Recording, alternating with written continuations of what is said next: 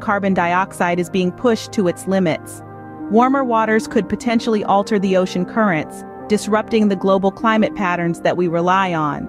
Remember the ocean is not just a body of water, it's our planet's thermostat controlling our climate and weather patterns.